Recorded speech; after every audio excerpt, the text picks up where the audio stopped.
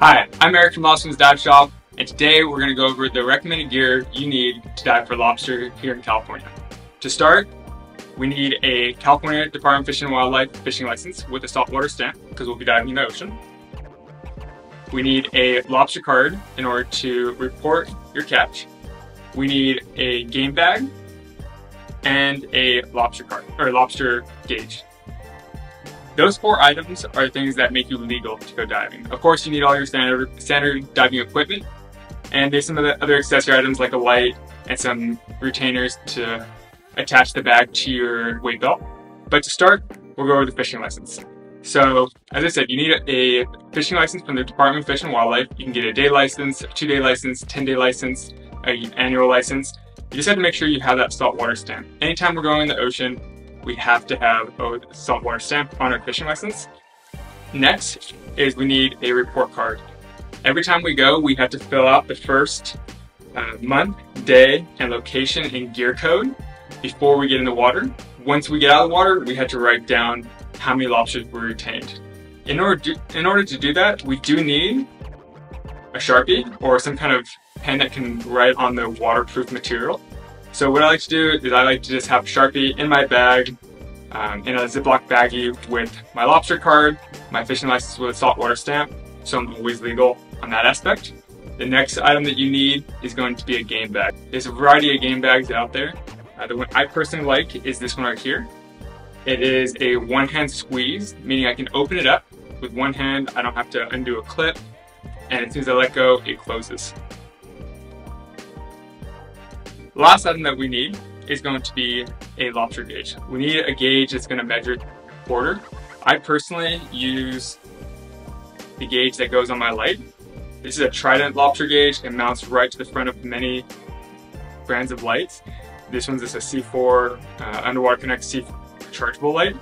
The reason why I like the light mounted gauge is that when I'm holding a lobster at night, I can use the light to highlight the lobster and make sure I'm, I'm measuring the carapace correctly.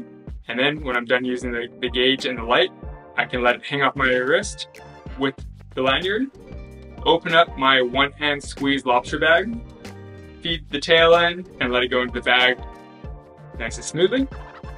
Now, in order to hold this bag onto your, your body, if you're gonna do it onto a float, is it okay as well. But I like to dive around the reef where the float lines and everything can get caught up. So one of the things that I use is going to be this D-ring retainer that goes on my weight belt. And then I have this quick link, which goes on the retainer. And if you look over here,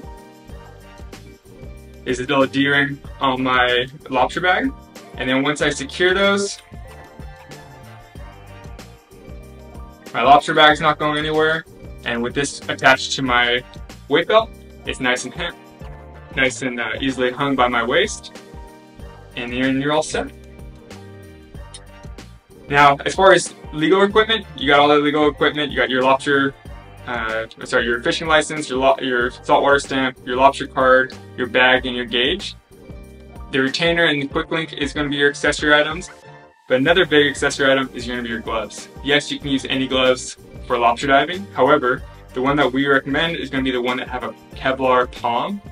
Our lobsters here, they're called California spiny rock lobsters for a reason. They're super spiny and they'll just go through any normal neoprene. So it's really important to have some kind of cut resistant or Kevlar palm so when you're grabbing your lobster, you're not getting little punctures. In addition to that, if you're diving at night or even during the day, lobster is going to be inside holes, area that's not very well lit. So having a nice light is super important usually recommend a 500 lumen plus as your primary light. This one right here is a C4 rechargeable by Underwater Kinetic. It puts out 1000 lumens on high and 500 on low. This is going to allow me to penetrate the surface on that high 1000 lumens, be able to see the structure that I'm going to be diving, and then I bump it down to low so I can hunt around the reef without scaring, scaring the lobsters too much. As far as you know, other equipment that you need, obviously you need the standard equipment to go lobster diving, but right here is going to be your essentials that you need to get started here in Southern California. If you've been spearfishing before, you're looking to get into lobster diving, you're already going to have your, your fishing license with a saltwater stamp. You just need to purchase about a $10 lobster card. a game bag, which you may already have for retaining fish, and then a lobster gauge, and of course a light if you're going to go at night or if you're going to be looking for lobsters under the uh, reef or rock structure. If you guys have any questions, please feel free to leave them in the comments down below. Make sure to like and subscribe this video, and I look forward to seeing you guys in the water.